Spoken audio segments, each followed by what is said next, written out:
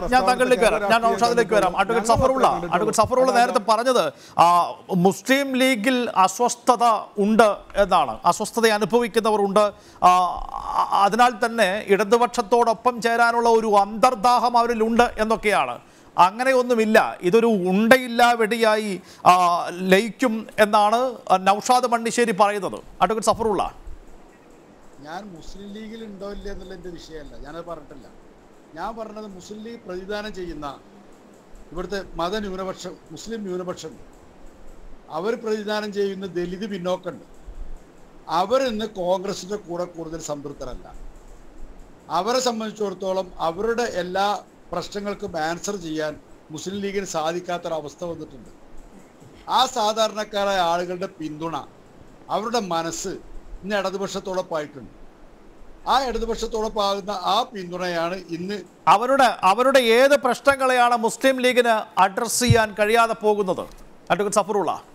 ജഹാംഗീർപൂർ തന്നെ എടുക്കുക. ജഹാംഗീർപൂരിൽ കോൺഗ്രസ്സുകാരും ചെന്നിട്ടില്ല. അവിടെ ഇപ്പോഴും രാഹുൽ ഗാന്ധിയെ കാണാൻ സാധിക്കില്ല. ഉള്ളത് ബൃന്ദ കാരാട്ടും രാജിയാണ്. ഈ സി എ എടുക്കുക.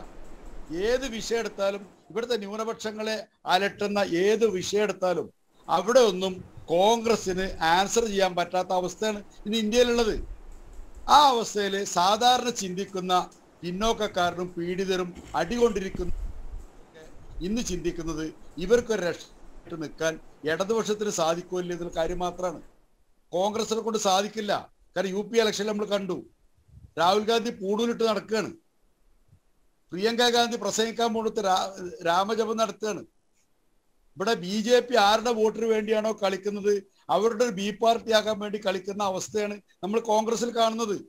ഇത് ചിന്തിക്കുന്ന പിന്നോക്കക്കാരൻ മനസ്സിലാക്കുന്നുണ്ട്.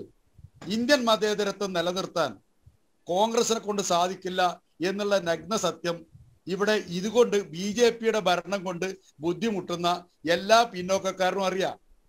അതായത് അസ്വസ്ഥരാകുന്ന ന്യൂനപക്ഷത്തിന് ഇനി ഏക അഭയം എന്ന് പറയുന്നത് രാജ്യത്ത് ഇടതുപക്ഷം മാത്രമാണ് എന്നാണ് അഡ്വക്കേറ്റ് സഫറുള്ള പറയുന്നത്. ഈ ഇടതുപക്ഷം ഇപ്പോൾ രാജ്യത്ത് എവിടെയൊക്കെ ഉണ്ട് എന്നതിലേക്ക് നമുക്ക് പിന്നീട് വരാം. അല്ലേ? ഏക അഭയം എന്ന് പറയുന്നത് രാജ്യത്ത് ഇടതുപക്ഷം മാത്രമാണ്. നിലവിലുള്ള സിനാരിയോയിൽ ഒരു വിശ്വാസം അർപ്പിക്കാൻ പറ്റിയ ഒരു അവസ്ഥ ഇടതുപക്ഷത്തിനേ ഉള്ളൂ.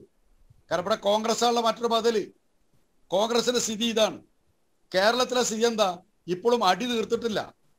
ഒരു രാഷ്ട്രീയം പറയാൻ അവർക്ക് സാധിക്കും. യെസ് അതിനാൽ തന്നെ അതിനാൽ തന്നെ ആ കോൺഗ്രസ് നേതൃത്വം നൽകുന്ന മുന്നണി വിട്ട് ആ, നിങ്ങളുടെ മുന്നണിയിലേക്ക് വരാൻ മുസ്ലിം ലീഗിലെ ഒരു ന്യൂനപക്ഷമെങ്കിലും ആഗ്രഹിക്കുന്നു എന്നാണ് താങ്കൾ ചിന്തിക്കുന്നത്.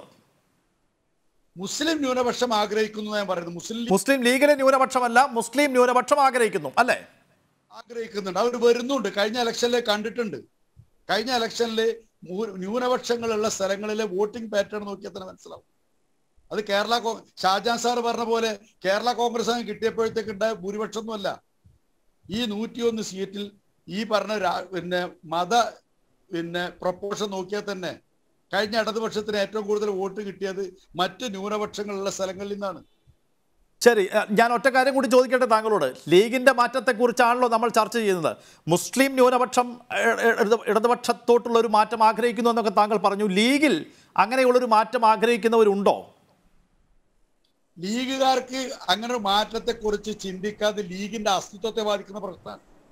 ലീഗ് ആരുടെ പാർട്ടിയാണ് എന്ന് ചോദിച്ചാൽ അത് മതന്യൂനപക്ഷ മുസ്ലിങ്ങളുടെയും പിന്നെ പിന്നോക്ക സമുദായക്കാരുടെയും പാർട്ടിയാണെന്ന് ലീഗ് പറയുന്നുണ്ടെങ്കിൽ അവരുടെ പ്രശ്നങ്ങൾ ആൻസർ ചെയ്യാൻ സഹായിക്കണ്ടേ ടി ടി മുഹമ്മദ് ബഷീർ ജഹാംഗീർപൂരിൽ ചെല്ലുമ്പോൾ അവിടെ അവരെ അദ്ദേഹത്തോടൊപ്പം നിൽക്കാൻ ഒരു കോൺഗ്രസ്സുകാരെ കിട്ടാത്തത് ഇവിടുത്തെ സാധാരണ ലീഗുകാരും കാണില്ലേ? അവരത് വിലയിരുത്തില്ലേ? അത് ഞാൻ ഒറ്റ കാര്യം കൂടി ഒറ്റ കാര്യം കൂടി. മുസ്ലിം ലീഗിലെയും സി പി എമ്മിലെയും ചിലരുടെ ബോധപൂർവമായ താല്പര്യമാണോ ഇ പി ജയരാജന്റെ പരാമർശമായി പുറത്തു വന്നത്? അങ്ങനെ ബോധപൂർവമായ ഒരു പ്ര- പ്ര- പ്രശ്നം കൊണ്ട് ഇവിടുത്തെ ചിന്തിക്കുന്ന ഇടതുപക്ഷക്കാരനും ചിന്തിക്കുന്ന മുസ്ലിങ്ങളും പിന്നെ കൊണ്ടുപോയിട്ട് പിന്നെ ആപ്പിലാക്കാൻ സാധിക്കും തോന്നുന്നുണ്ടോ?